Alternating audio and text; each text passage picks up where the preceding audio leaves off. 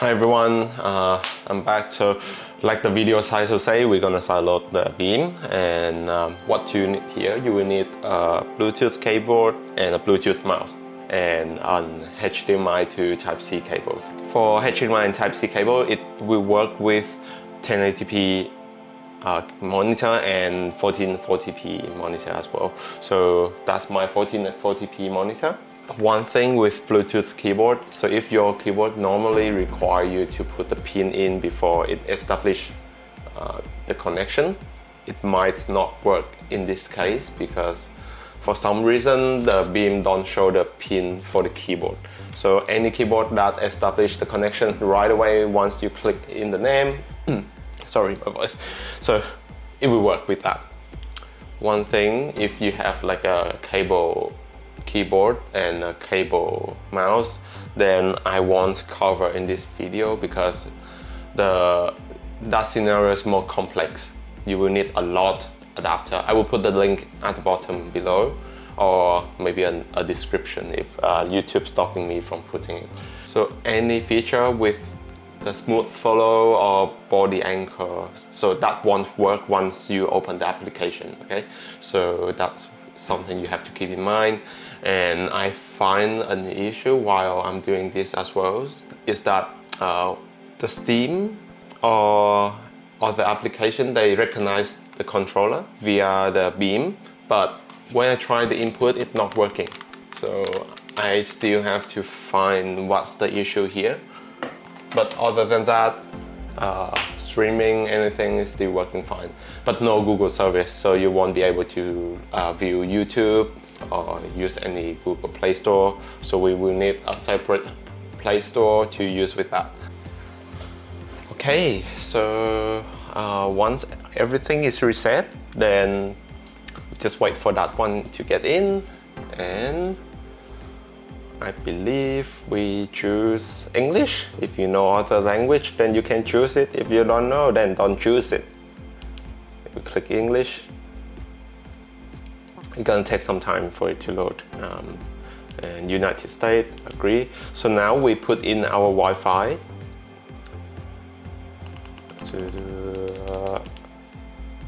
So once it's loading, so keep the, just click, clicking the down button it's gonna go to the instruction screen. Just keep clicking the down button. And then we quickly go to the Wi-Fi setting and turn off the Wi-Fi.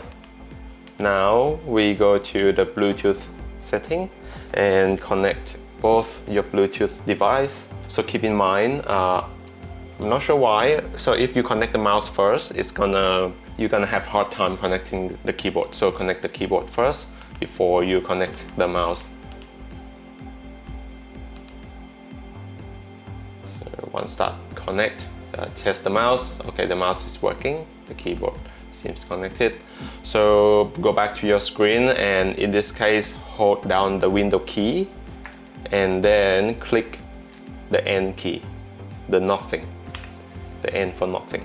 And that's gonna pull down and you click your mouse here, pull the notification center down, expand it. And now you do this process twice uh, go to the setting. It's not gonna pop up, but you try again, go to the setting. It's not gonna pop up again. So um, just click close up. And then the third time, we go to the notification center again. Click this human icon here. Go to more setting.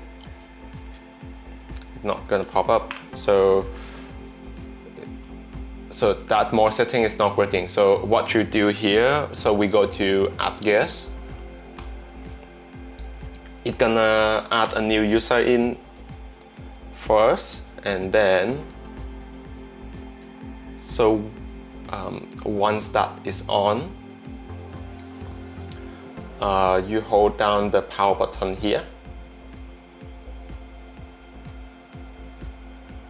hold down the power button until uh, the beam turn off. Okay, the beam turn off entirely already. And then uh, we hold out the power button again. And the beam gonna reboot and turn on again. So it's weird. The power button is actually stay up here. I thought it's gonna be some like sensor, but it's not. Um, it's a really dumb thing for me to mm, don't know about, but yeah, it is there. So we just wait for this one to turn on and then we quickly turn off the Wi-Fi and uh, reconnect the Bluetooth and keyboard again and we uh, continue on the process.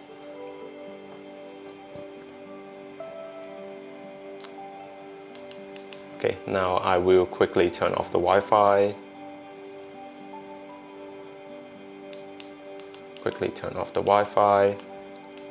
So my, um, my mouse is automatically connected. So I just connect my keyboard as well.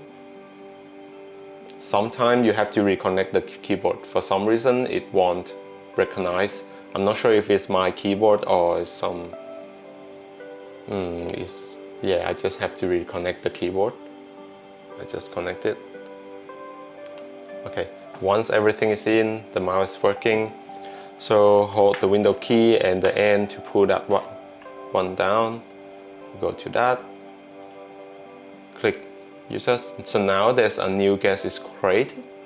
And from that, we can go to more setting and it's gonna go to the, the setting, more setting. We just click close up. Sometimes we just have to do it again and again, but yeah, it's for usually it will work. More setting. So we click a few times, close out more setting. Then you gonna do is remove guest here. Just remove guest. Okay. We go back to the main screen and now the setting, we should able to get access to the setting. Click the setting button here. Now we are in the setting. So that's the hardest part. Um, so we go to network and setting, click on the Wi-Fi, turn on it, and then we connect to our own Wi-Fi. It will automatically connect since we connected before. Uh, then once we get access to inside, we can just tackle it inside CEO 21 apps. And uh, Lightning here, that one gonna be our browser. So we just click open the Lightning and then now you should be able to gain access to the Wi-Fi. Aptoide TV. We just download it. Download Aptoide TV via Wi-Fi. Okay, sure. Um, so just click download it. Then it's starting to download in the background. Um, I can't seem to find the download tab in here. So properly, we just wait for a while if it's not. So once that one is on, uh, we go click back, click back, click back until we go back to the setting. Then click back again, back again, and we go to app and notification again. Look for the file explorer and we open it. So go to internal memories, download. So there should be Aptoide TV, we just download here. Click it. So we go to the setting over here. Setting here. Allow from this source. Go back to the screen and then we can click install it. and just click done. Don't open it, just click done first. Then we go back to the beam, just go back to the setting. And now, um, for we go to the about beam. The about beam have the build number below here at the bottom. Click the build number five times to become the developer. Then we go to system here, advanced. So there should be a developer option here. We click on that. so scroll down until almost the bottom there should be the don't keep activities so destroy every activities as soon as the user leaves it we turn on that option. And okay. Now once everything is finished you can proceed on opening the Aptoide TV so go to the Aptoide TV open it. So it will bring up the Aptoide TV now we are looking for a TV launcher oh, launcher so just click it and install it. Allow from that source. And we go back from there. Just click go back. And then we click install it again. And it should install the application. Then we can uh, click done we just go back to the setting. So just to be safe um, we set this launcher as default. So um, you can go to uh, apps and notification default apps. Then we click home app. We can keep the ATV launcher so click the ATV launcher then it will set this one as default for now uh, keep in mind that every single feature from uh, the beam like body anchor or um, lock screen, screen locking thing. So it won't work in this launcher. But for now, we will keep it here just to be safe. So you go to Aptoide TV again. You can download um, Prime Video if you want to. Prime Video install. So uh, we can uh, download the Netflix there. Okay, so after we finishing installing the Netflix, then um, we can proceed on going back to the Eva launcher, which is from originally from the Beam to the Beam. So we just go to the setting, app and notification, default app, home app, Eva launcher.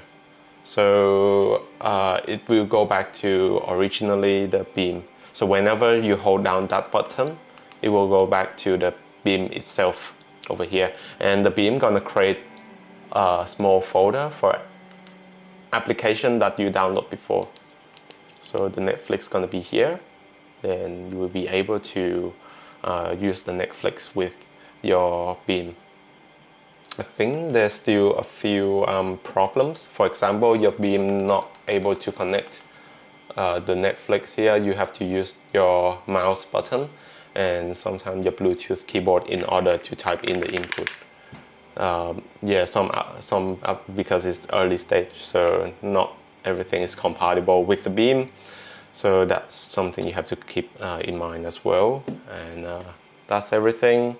Thank you for watching. Hope this uh, video helped you. See you next time. See.